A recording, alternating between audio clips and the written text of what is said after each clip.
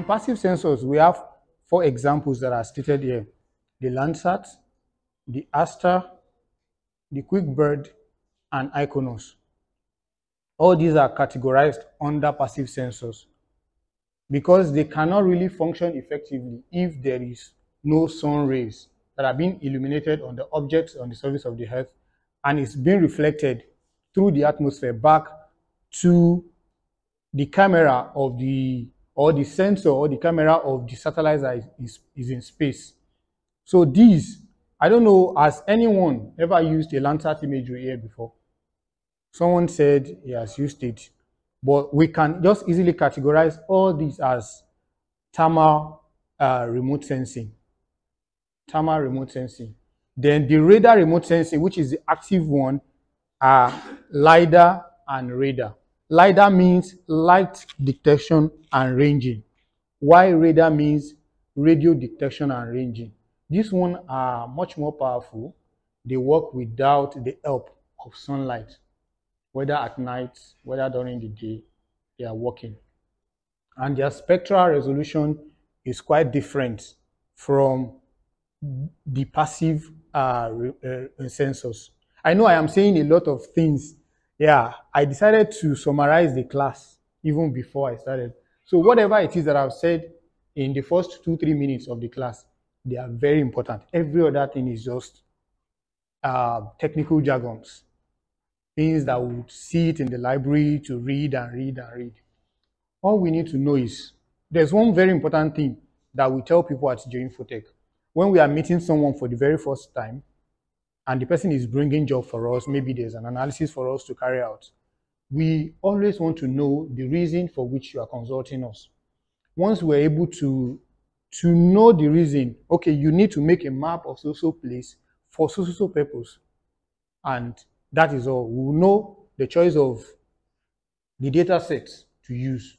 So all these, once uh, you know the reason for which a client is consulting you that they need to carry out an analysis, then you as a professional will be the one to determine which choice of data sets are you going to make for them.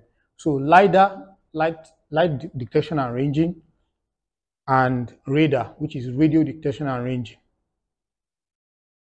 So from here, I would uh, want us to quickly move as well. Let's move ahead.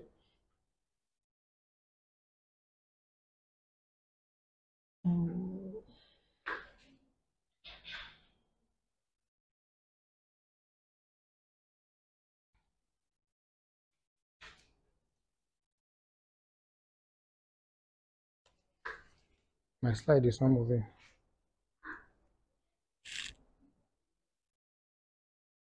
Next slide. Okay. So what are the platforms that are available in uh, remote sensing without having to make physical contact with the objects we are mapping? These are the four platforms that are available. We have the spaceborne, we have the airborne, we can go drone based, and we can, we can be ground based. I'll start from four because I think four is much more closer to us. Every one of us, we are on the surface of the earth, we are on the ground. Um, before, okay, before the uh, advent of remote sensing, before technology brought remote sensing close to us, there is uh, a field that we call photogrammetry. I don't know if anyone knows what photogrammetry is. Photogrammetry, the art and science of taking images, pictures, using our camera and trying to analyze it, photogrammetry. So the as technology uh, improves, technology as it grows, that's when we now have remote sensing. So from photogrammetry, I could say this, this ground-based uh, platform or process is purely photo, uh, photogrammetry. When you have to stand on maybe a mountain or you climb a tall building, then you station your camera, tilt it some way, then you take imagery, then put it on your soft or, or your, on your system, then try and analyze it using your software. That is photogrammetry. So it is ground-based. You are standing on the ground, you are taking pictures or images of the surface of the earth or a phenomenon that you want to map. Then we'll move up a bit. Drone based.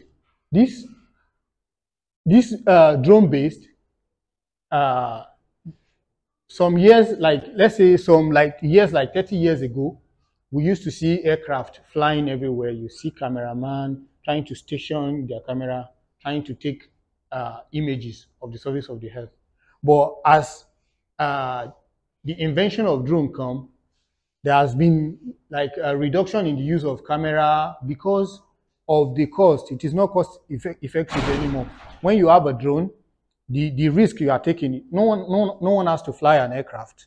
So all you need to do, the risk you are taking is just your drone that, that is flying. No one gets to die, even if it's going to crash. So there is introduction of drone, and drone can go as far as one, 150 uh, meters up, 200 meters up to carry out uh, um, data acquisition. So we have ground-based, we have drone-based, and we'll move up a bit, we have airborne.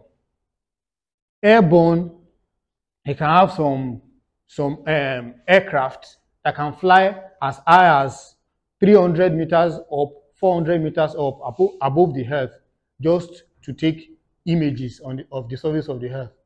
Airborne.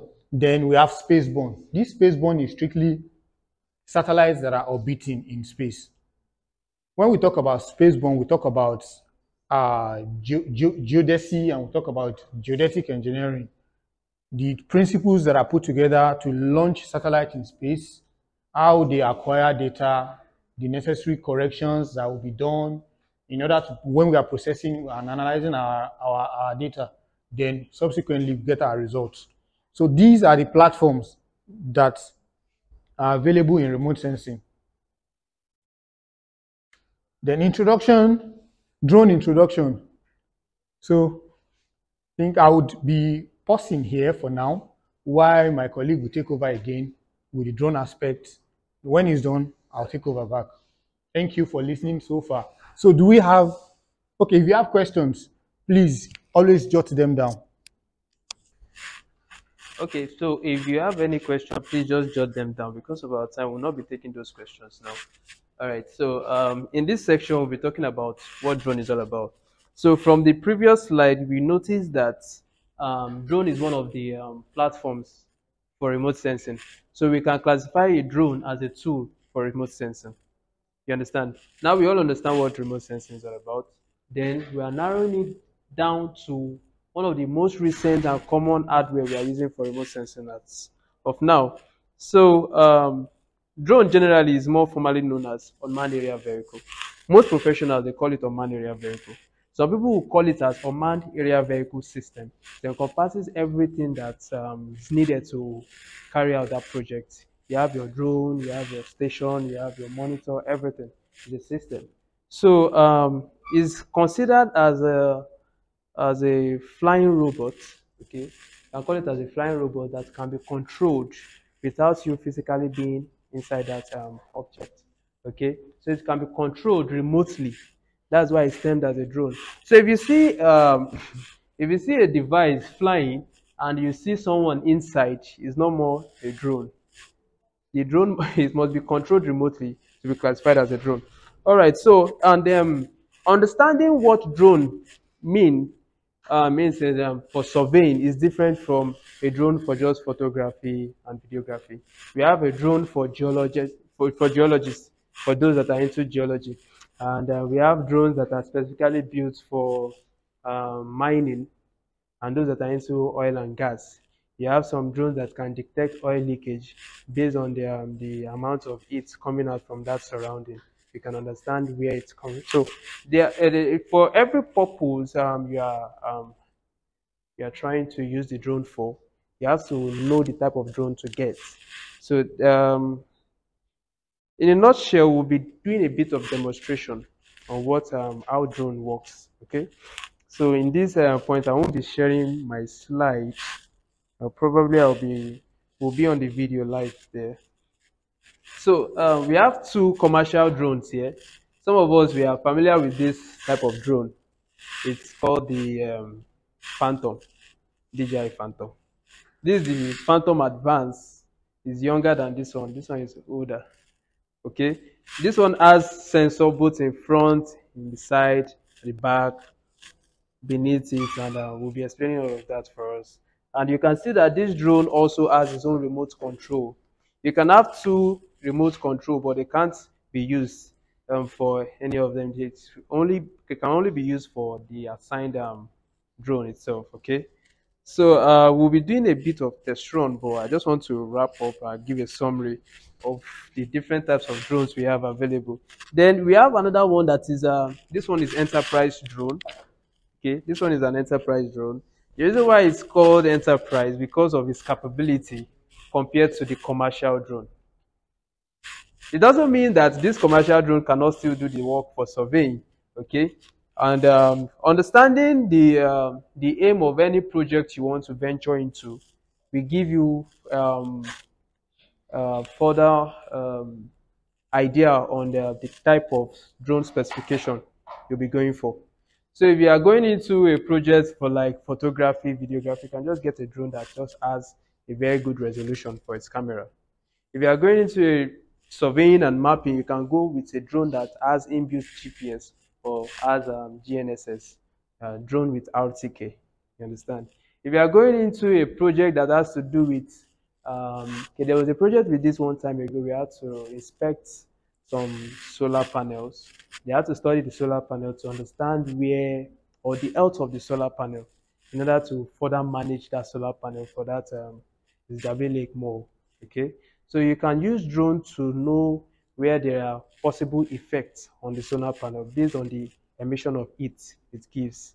All right, so you have to get a drone with infrared. Do you understand? So, like I said, let me just do a recap. If you want to do a survey, you have to get a drone with RTK. If you want to do just photography, videography, you have to get a drone with just high resolution pixel.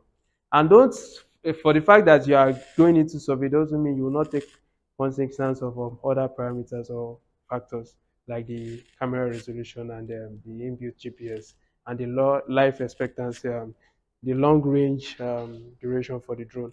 Okay, so I'll be giving a preview for this drone. Okay, uh, for this drone, it's called the DJI Matrix 210. There are other versions, Matrix 200. They call them the Matrix 200 series. We have the 210, we have the 200. Then we have the Matrix 300 series. Okay, these are the Phantom series. All right, so um, I'll just give an example of how we operate this drone. It has its own controller and it came with its own monitor. And this is one of its battery. And uh, we also have another battery here. It works with both of them together. And uh, we have the phone holder in case you are not making use of this you want to use your phone you can make use of um, your own personal phone. And okay that's all for now. So if i'm going to be launching this drone one of the things i'll take note of is uh, the basic functions of this drone. Understanding the function of the drone gives you more idea on how the drone operates okay? There are some drones that you have to on the controller first before you on the drone itself. And there are some drones that you have to calibrate. Most drones that are related to surveying, you have to calibrate them for um, best efficiency. So um, we have we have this battery here. Okay, the two batteries um, goes into the drone at the back while it's here like this. I hope you can all see it. Okay. And um, to know the percentage of the battery, just click on this. So because of our time, I won't be doing too much detail about this drone. So I'll just rush into how we launch the drone. So you see the demonstration of what I'm doing. Okay. You saw the way I slotted, uh, slot the both of them inside. And knowing the battery of both of them, just click on it once. But if you want to power on this drone for children's safety, you don't just press it down like that. You have to press it down for one second, you wait and press and hold. Then you power, you powered it on like that. Right? So the next thing again is there's something we call the blades. The drone can't fly without those blades. Another thing they, they call it the propellers. Okay, the drone can't fly without the propellers. And the drone itself is um, well, um, is smart enough. It communicates with the pilots by giving signals from here. All these functions, some of them are also available within the commercial drones. The commercial drone has its own signal down here. It also has its own sensor here. You will see the similarities between this one and this. This one has its own sensor here, and it has its own sensor here. And that's the sensor in front. Okay, so and this is its monitor. So just uh, slot the monitor with the controller. The monitor will enable us to see whatever the drone is seeing. And understanding the spec of this drone gives you an idea of its um, range. There are some drones that can go as long as 7 kilometers, but that is if you are flying automatically. And there are some drones that can go as long as 1 kilometer. That's if you are flying it manually. You understand? So a lot of people make mistakes of that. They try because they see online, they'll write 9 kilometer, 10 kilometer, then they will try and fly their drone manually to reach that 9 kilometer. And at the long run, you see that the battery is 20%. The 20% cannot take it and come back. so, so most time in cases like that, the drone won't come back. It will just land wherever it is down like that. If it's on if it understands the critical level. So, and again, the reason why it's commercial is because um, they've added so much um, functionality for this drone safety. Once it's reached a critical level, it gives a warning sign. It acts in a way that it has to come back. If it reaches a low battery level, it gives a sign and it acts in a way of um, warning you to come back home. But if you not come back home and it reaches the critical level stage, it will come back home without taking uh, permission from the controller. All right, that's for this drone, and the same with the commercial drones. All right, so um, for the drone, it comes with its own spec of camera. Okay, it comes with its own spec of camera. I'm just going to rush this so that. Uh, you can see that the commercial drone has its own camera inbuilt. So you can choose the spec of camera you want. You want the one with just optical, like my colleague has explained what remote sensing is. You've seen the different types of sensor we have for remote sensing. So for this type of drone, it comes with its own type of sensor. So you can choose to buy the one with just um, RGB camera. You can choose to buy the one with RGB with um, infrared.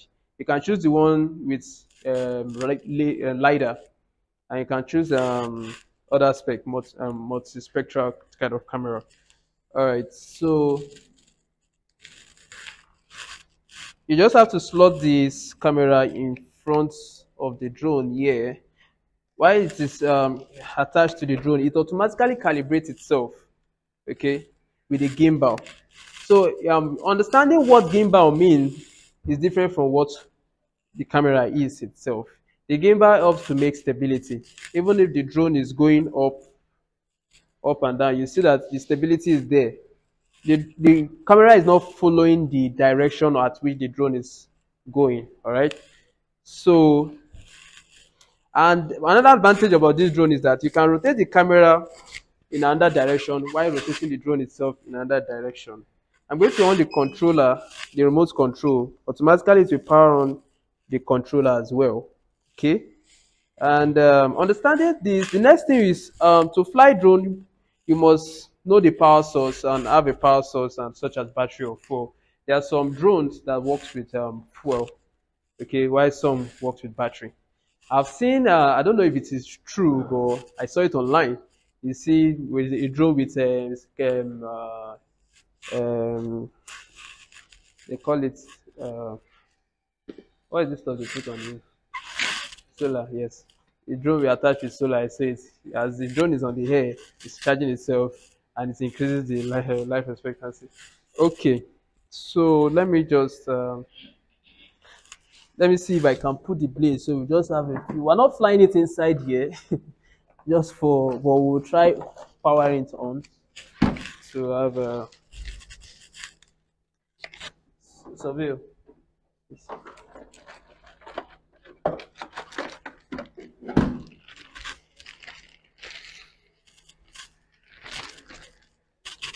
black or black. So um, for this uh, blade, it's uh, it rotates in different direction. We have a body with um, the ash color. We have the one with the black color. So when putting the blade inside it, um, attaching it with the drone rotor, they call this a rotor. All right. when attaching the propellers with the rotor, you must know which one is white and which one is black. Some is silver, some is black. Okay. So I'm going to be attaching the black with this. It goes, um, I think, clockwise, anti-clockwise, sorry, to lock inside, and this other one goes uh, clockwise to lock inside. Yes. Thanks for this one. Mm.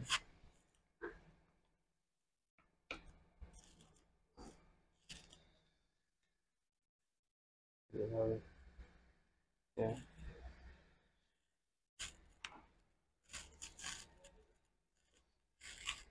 One advantage about this drone is uh, it's it can carry more weight compared to this one. So you can attach more sensor to this drone. You see that it gives you another space for attaching another type of camera here.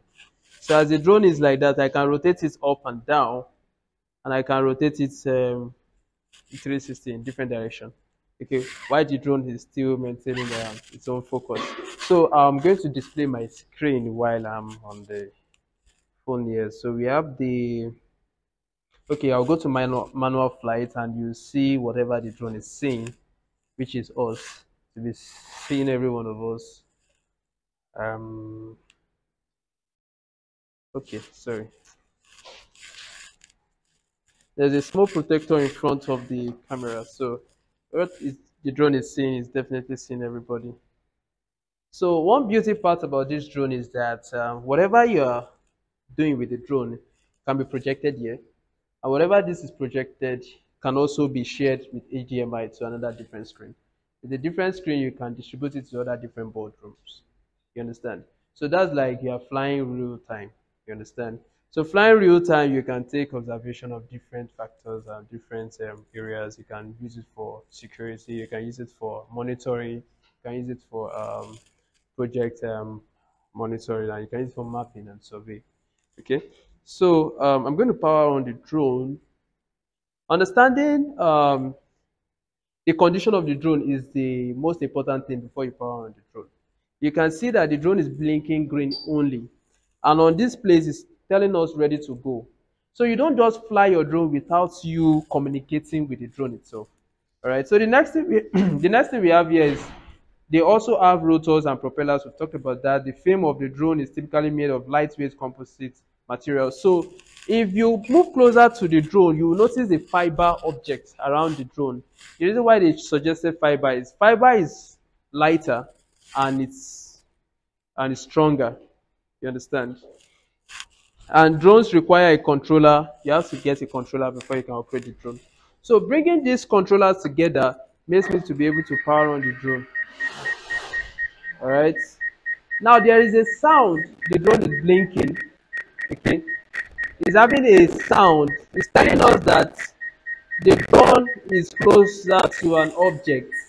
If I should lift up the drone now, which I'm not going to, if I should lift up the drone now, move it back, the sound is going to stop. So that sound is, uh, they call it uh, vision sensor.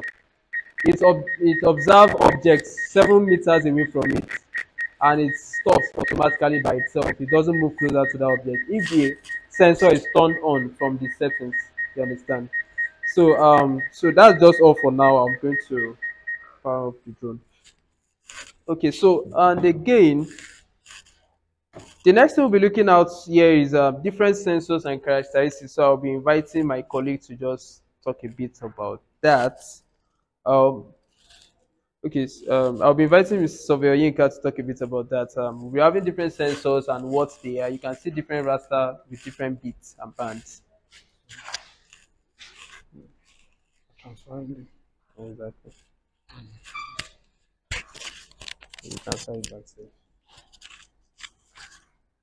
Sensor platform characteristics. These are these are technical jargons. These are English. But I would see if um, let's see how we can explain all this. Spectral resolution, radiometric resolution, spatial resolution, and revisit time, which is the temporal resolution. The temporal resolution simply can simply be explained as uh, the kind of resolution that one will get over time. In 2019, you you downloaded a Landsat imagery of a particular area. The same 2019, maybe you downloaded for January, then in March, you download another one. Then third quarter and fourth quarter of the year, you download like four images like that. These were downloaded over time, and you can check for the resolution that are in between, like all these images that, that I have downloaded. That is how I would explain what revisit time or temporal resolution as. The spatial resolution, the smallest unit that a, a, a, um, a satellite in space, the smallest unit or sm smallest object that that satellite in space can cover. For QuickBird, I think it's 0.6 centimeter or 0.6, yeah, 0.6 meter that um, a QuickBird or IKONOS, I don't know, I can't really uh, recollect, is it QuickBird or IKONOS now? 0.6 meter resolution.